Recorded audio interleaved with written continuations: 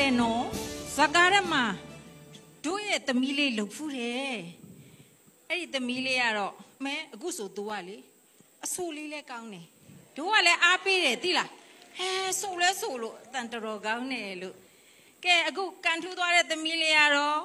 စိုးပြေသစင်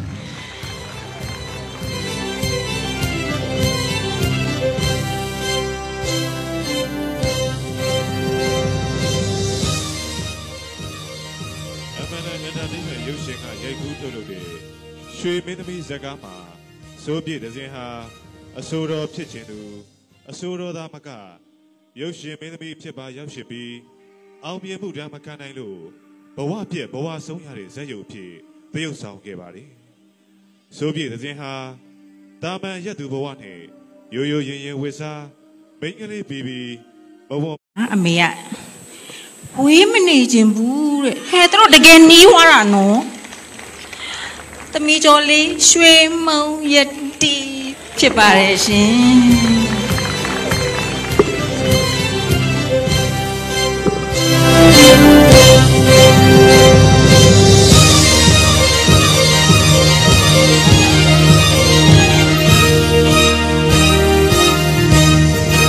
everything ပေါ့လို့ရှိရင် Traversy ရုပ်ရှင်ထုတ်လုပ်ရေးကရိုက်ကူးထုတ်လုပ်တဲ့ ဝေးမနေခြင်းမူရုပ်ရှင်ဇာတ်ကားမှာဖြင့်ရွှေမုံရည်ဟာ KTV မှာအလုပ်လုပ်တဲ့မိန်းကလေးတူဖြင့်တရုပ်ဆောင်ခဲ့ပါတယ်ဘဝဘိန်းခြေနေရ KTV မှာအလုပ်လုပ်ရပေမဲ့ကိုကျင့်သိက္ခာကိုတန်ဖိုးထားငွေအသပြာနောက်ကိုမလိုက်ကိုတန်ဖိုးကိုထိန်းသူဖြင့်တရုပ်ဆောင်တဲ့အခါမှာမဟုတ်မခံဇက်ဇက်ကျဲမိန်းကလေးတူသွင်းတဲ့၎င်းလုံပေါ်ကင်ပဲ့တငယ်ချင်းတွေပေါ်တန်ရောစင်ကြီး သူတို့အခက်အခဲကိုကူညီခြင်းတဲ့အခါတန်ရောစင်များနဲ့ဂယုဏတရားရှိထားတဲ့မိန်းကလေးသွင်ဖြင့်၎င်းတပံသူ့ပေါ်လေးစားတန်မိုးထားတဲ့ဂုံတရေရှိလူကြီးလူကောင်းနဲ့တွေ့တဲ့အခါမှာတော့ကလေးဆန်းဆန်းမူရများဖြင့်၎င်းလူကြီးပေါ်မေတ္တာသက်ဝင်ပြီးသွားတဲ့အခါຫນွေစုဆိုတဲ့ချစ်သူသွင်ဖြင့်၎င်းဇက်ကောင်စရိုက်အစုံစုံအမူအရာဖုံဖုံနဲ့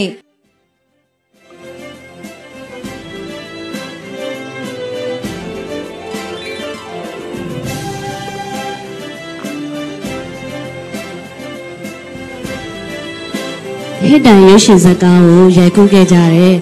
တင်းကြီးတစ်ခုလုံးရယ်ပြီးတော့ဦးဝဲကိုဒီနေ့ဒီချိန်ထိအားပေးနေကြတဲ့ချစ်ပရိသတ်ကြီးရယ်နောက်ကျေးဇူးတင်ထိုက်တဲ့သူတွေအားလုံးကိုကျေးဇူးထူးပဲတင်ရှိပါတယ်လို့ပြောချင်ပါတယ်ရှင်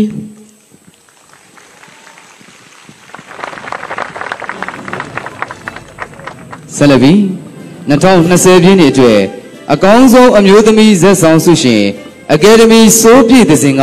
ကျေးဇူးတင်စကားပြန်လည်ပြောကြားမှာဖြစ်ပါတယ်ခင်ဗျာ